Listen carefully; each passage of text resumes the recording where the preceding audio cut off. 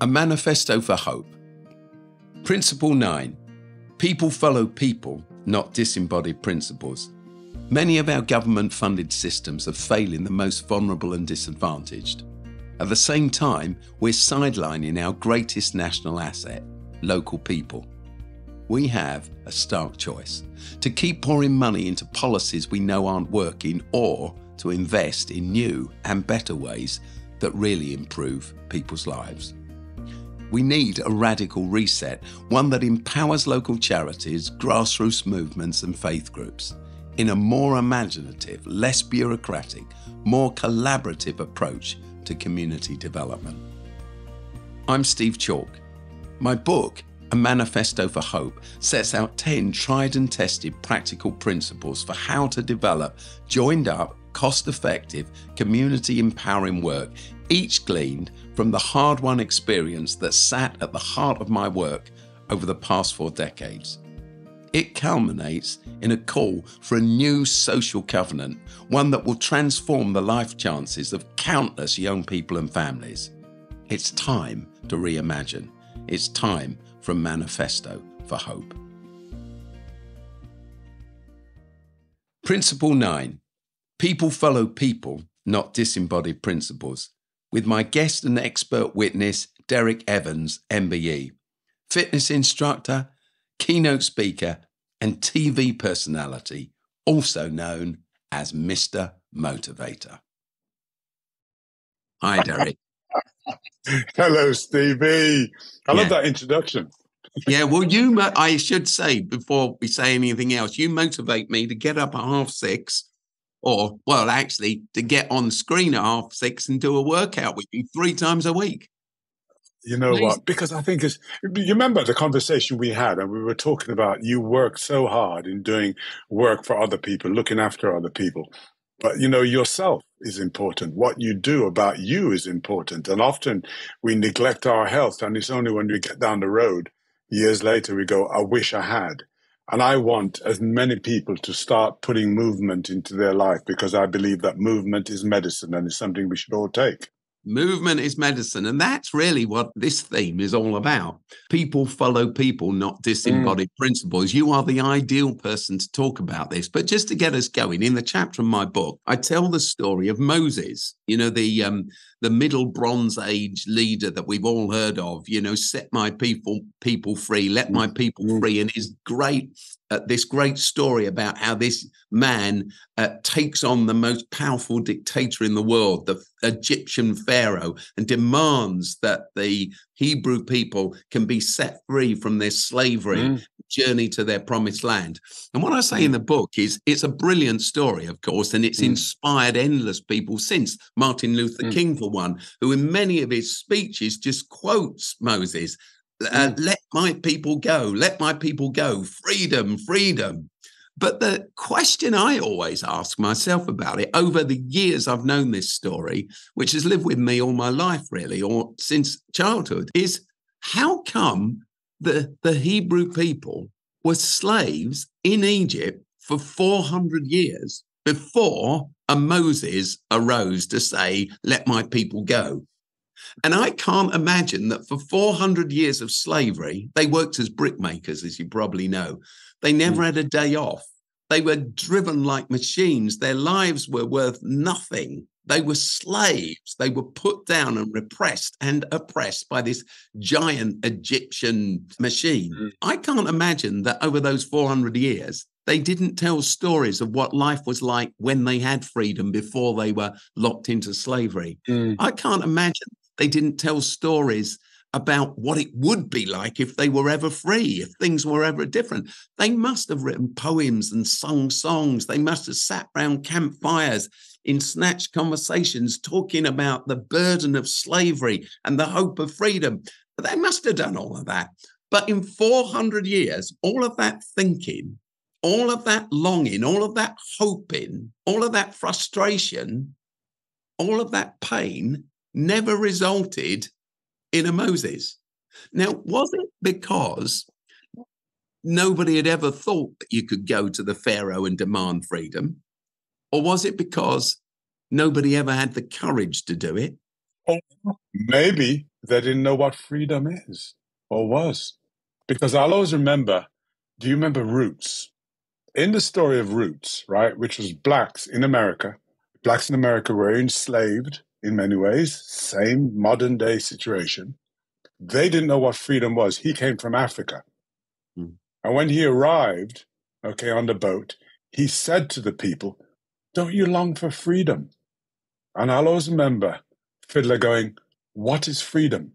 He had to paint a picture of what freedom is. And that, of course, is the point. Actually, that's what I say. I didn't use that story in the book, but that's a brilliant story and brilliant illustration. What Moses did, he didn't just say, let my people go to Pharaoh. What he mm. did for the people, the Hebrew people, was paint a picture paint a picture, yes. of a promised land, of a promised land. He mm. literally called it the promised land. So it's one thing to be stuck in the old land, but you don't realize there's anything more. So a leader, a real motivator of people, mm-hmm. which is why it's so brilliant. You're doing a picture. podcast. A mm-hmm. motivator mm-hmm. of people is someone who points you to what you mm. perhaps wouldn't otherwise see. Not only describes how you're stuck in the old land, but much more importantly, talks about the new land. And um, uh, I reflect in my book about the fact that it's not just Moses, of course. It's Nelson Mandela did it, Emmeline Pankhurst did it, Gandhi did it, Martin Luther King did it, Mother Teresa did it, Greta Thunberg does it. All of these people point you to a new land, a better land. And, and I think that it's not that they have detailed maps of the new land. Moses didn't. Martin Luther King in the civil rights movement in the 1960s, he didn't have a detailed map of what America could be beyond giving the vote to Black people who were disenfranchised, beyond creating equal opportunity in, in employment for them. He didn't know quite what it would look like, but he could paint a, a good enough picture of it to yes. call people towards yes. it. And, and one of the things about Martin Luther King, of course, is that we all remember him, but he worked with a team. He was the pioneer. He pointed to the future. But to use a different illustration, I was talking to someone that I work with this morning, and she was saying, Oh, Steve, you're a pioneer. And I said, Yeah, but pioneers can point the way. They can even find the new land. But then other people need to come and do the landscaping. They need, they need to work out how the transport systems work. They need to develop the infrastructure. So the pioneering leaders really important, but their job is to show all that there is a new land that can be inhabited so that they come with you into that place, which is why actually in Oasis, as Oasis has grown over the last 40 years, people often, um, in fact, I was doing a, a television interview the other day, and and they always ask ask me how to introduce myself, you know, and and they say, "So you're the boss, you're the CEO," and I say, "No, I'm not the CEO," and they look shocked. I say, "No, I'm not the CEO." Actually, I tell them who is the we got several CEOs of the different parts of Oasis, but I say I'm not any of them. I don't do that. I'm the founder. And the other day, someone said, Well, what does a founder do? I said, Well, I started the thing, but really my job is to point the way, but it's not to get in the way, to point the way, not to get in the way of everyone else. What I've done over the years is I have been the CEO of various bits of Oasis. I was the CEO of our schools. I was the CEO of our housing. I was the endless bits of mm. Oasis. I've mm. been the CEO, but I know my job is to vacate that chair and to keep pointing the way to the, the new future thing, to be a kind of movement person. Sure. Well, let an older person give you some wisdom. You may and not you are older. I just want to point out that you are older. I just want to point out I look younger.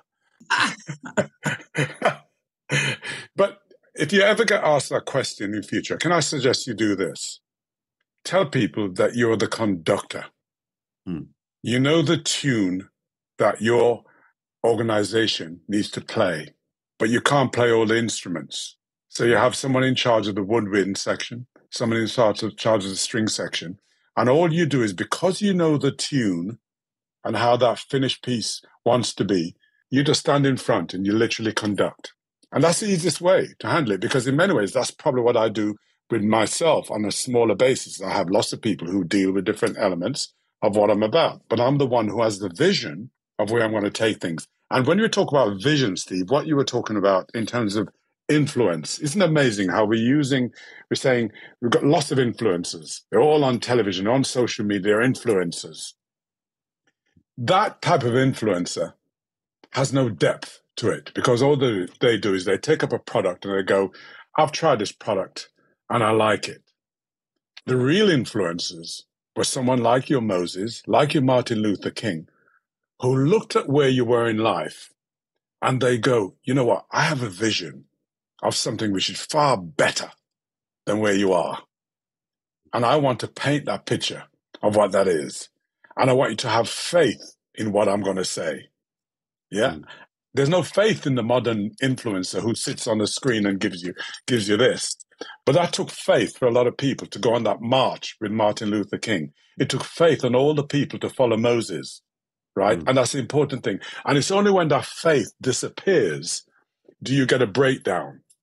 Yeah. As long as people keep faith in what that influence is giving them, then your mission becomes so much more interesting and and uh, and viable and successful. Yeah. Yeah. So what I find in life, well, in actual fact, I got a friend who once said to me years ago, they he said, We're all born into a box called conformity. From our first days, we're taught what the rules of life are, and we're taught how to conform, how to fit in. Schools do that, etc., etc. Our culture does that.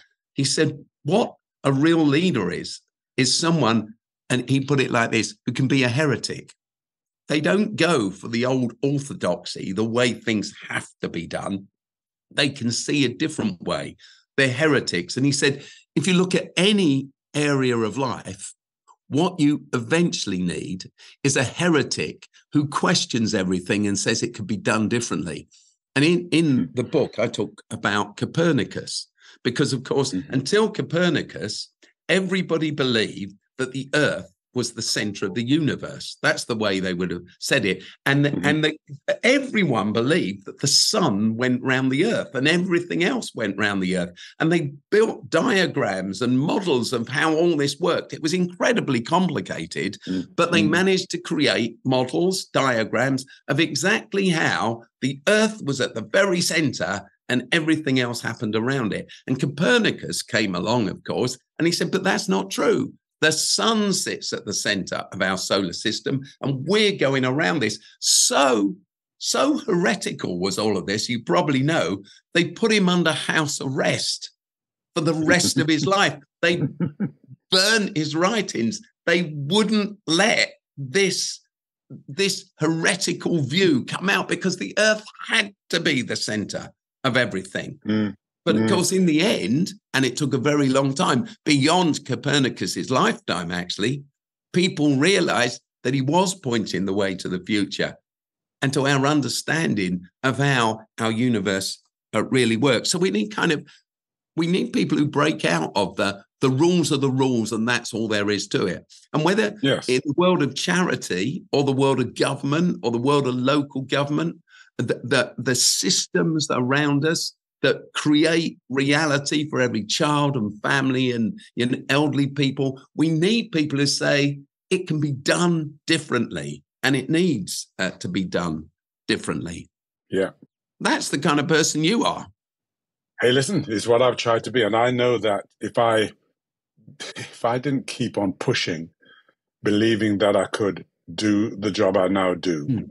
and trying to get people to believe that I could do it, um, I would have lost the very essence of what I'm about because I'm in such a happy space that this is my promised land. This is what I've been dreaming for. This is where I wanted to be. And so the joy it brings me means that I get up every day and I'm smiling every day. You're and when I'm smiling at the world and they're smiling back at me, right? I mean, that is a real wonderful feeling. I can vouch for the fact that at 6.30 in the morning, you are smiling. That's an amazing oh, yeah. thing, which oh, makes yeah. me oh, smile, oh, yeah. actually. So, oh, oh so I, so I I kind of think it's like this. You know, there's lots of people who rationally believe in change needing to be made, but a real change maker the person that people follow is someone who's irrational about it. I remember uh, when I was much younger and um, and Oasis was just starting. It was only me and perhaps two or three other people. I used to run a youth group, and some of them joined me in uh, in the beginnings of Oasis. And um, and it was really hard work. It's really hard work now.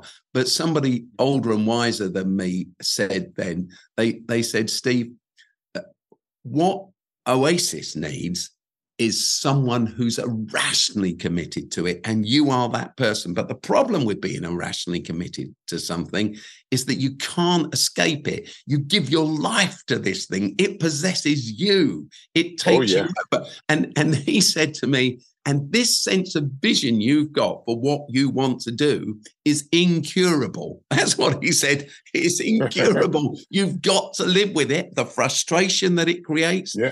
You've got to live with it uh, for the rest of your life. And I learned out of that that what I, my job to do, and what I believe you know, Moses, Martin Luther King, etc., etc., Greta Thunberg, Pankhurst, Gandhi, they embodied what they talked about. It wasn't just that, hey, I've got a theory. What do you think of this theory? You know, do you think it will work? Like they they ooze. They lived and breathing. Yes. Yeah. Yes. Yeah. And which is why I get disappointed in doctors who sit in front of you, Stevie, and they go, You should be doing the following. And you look at them and you go, Well, so should you so should you, right? Because in fact, the messenger must believe in the message. Otherwise, there's no credibility behind that message. No. And that's why if I, well. no, somebody was telling me that just yesterday, actually, because they'd yeah. not been well. Somebody I know and love, and um, and they, they, I was worried about them, and they'd been to see their GP, and they said the GP gave them advice about how they needed to lose a few pounds and get a bit yes. But they said that this it was a woman. They said she sat there in front of them.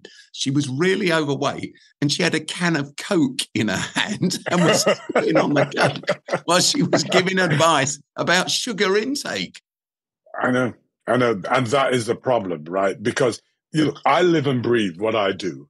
I believe wholeheartedly, and I said it earlier on, the movement is medicine. I really honestly believe in it because I believe what a condition you have, mental, physical, no matter what it is, if you get your body moving, you're able to cope with those conditions so much better. So if you wish, I'm painting a vision of the promised land that I want everybody to go to. I want everybody to say, come on this journey. I'm going to come on this journey. And the point is, you know, here's the difference. People know it exists.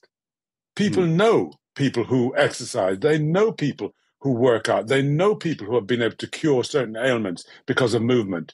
So it's not difficult. The difficulty is getting them to take that first step, which is mm. almost the same problem that Moses had. Is yeah, getting yeah. people to take that first step, right? Yeah, yeah. So what what I'd say about you, Derrick, is this, and that's why I asked you to talk to me about this this chapter. People follow people, not disembodied yeah. principles, because it strikes me and I've known you for a very long time, of course. I guess we've known each other. Well, we've known each 30, other 30 years. Yeah, yeah. And uh, so I've watched over the years how this, what you talk about, is embedded in you. Like like Brighton is embedded in a stick of rock, you know, and and and wherever you chop the rock, you know, you can cut it up or yes, break yeah. it or carve it up, but wherever you cut it, it still says Brighton in, and like yes. it's like you, you're like a stick of rock uh, in terms of your what you say about health, well-being, medicine, yeah, and health and well-being. It, it's um, it's an mm. amazing, mm. it's an amazing thing. There's a story that always fascinates me, always inspires me. Back in 1464, I talk about this uh, in my book. In 1464, um, a group of men went up into the Italian Alps and they heaved out of the Alps a giant block of marble and they brought it down into the city of Florence. They transported it there and they called it the giant but this huge piece of marble had a flaw running through it. What they wanted to do, though, you know, Florence was the center of the new movement in art it was the center of the Renaissance. And there were many statues around Florence. There still are. It's a wonderful place to visit. If you're looking for mm-hmm. uh, architecture and art and culture, look no further than Florence. It's, it's an mm. extraordinary mm. city. But they had this giant block of marble, and it sat in the, the, the courtyard, the work, the, the working courtyard outside the cathedral there. And they asked a very famous uh, sculptor to uh, to carve it into something beautiful. And he worked on it, I think, for about six months. But because of the flaw that was running through it, he gave up. And then it stood there for some 10 years, just abandoned. And then another famous artist, there were many of them, of course, in Florence mm. at that time, at the time of uh, uh, at the time of this renewal, he came to work on it. And he worked on it for a few weeks and he gave up. He said it was just too flawed. It was too dangerous to work mm, on it. Mm. And then it sat in that yard. This is an extraordinary thing um, mm-hmm. for another 10 years. And then Leonardo da Vinci came to work on it. like this yeah. famous artist. He worked on it for a bit. And then he gave up. And then they say it sat in this yard for another 35 years. No one touched it. And then someone had the idea of asking a young man who was a bit of a novice, who didn't know much about all of this kind of thing. He came and looked at it. They say he spent three days just walking around it, pondering. And then he started work on it. And he worked on it for almost three years. And his name was Michelangelo. And today, that piece of flawed marble is the most famous uh, statue in the world, the statue of David. People go to Florence just to see the statue of David. I've been, it's as high as a double decker bus. It is absolutely beautiful. I'd heard people say to me before I'd seen it that once you've seen David in Florence, there's no need to ever look at another statue. Nothing comes close. I thought that was hyperbole. I'm telling you, when you stand in front of it, it blows your mind. How did this young guy do what no one else can do? He was asked the question, and he said, I could see, always see what was inside that block. My job was just to set David free. Amazing. Love it.